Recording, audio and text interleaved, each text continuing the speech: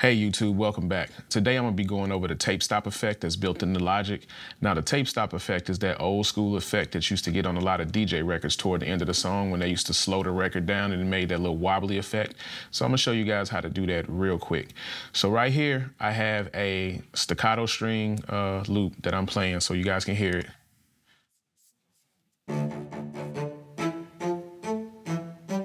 Yeah, right, so real simple, real simple.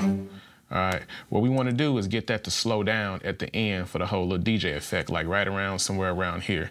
So what you do when you have Logic open, first thing you got to do is click on the inspector. If your inspector looks like this, or if you don't have your inspector open, go ahead and go up here, click on that eye, and it's going to open up like that.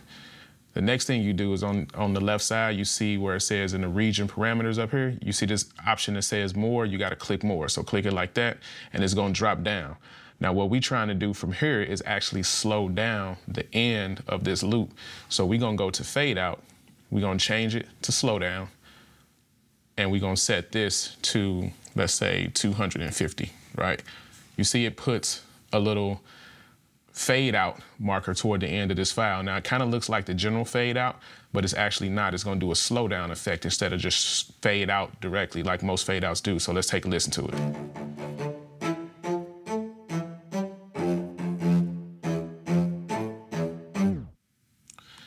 Right, so you hear that? Now, if you wanted to increase it, like say 2,000, um, which we don't want this because it's gonna slow it down like real slow. So I'm gonna just start it right here and play it. You can hear it.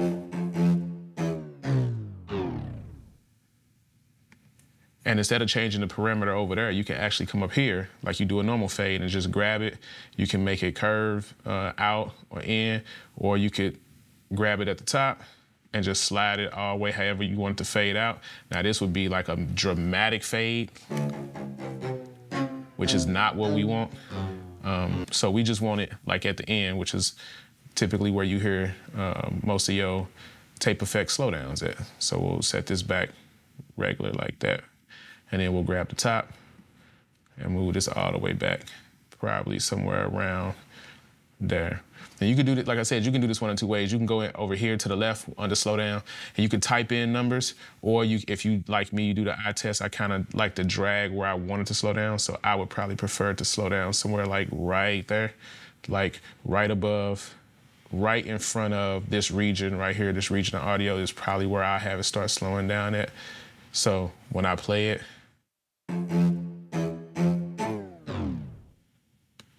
yeah, and that's it. That's the tape stop slow down effect in Logic. Like you can automate this effect over across a whole entire song, or you could just put it on individual sounds. Like I actually do both. So it just really depends on the groove and feel of the song. So yeah, let me know down in the comments.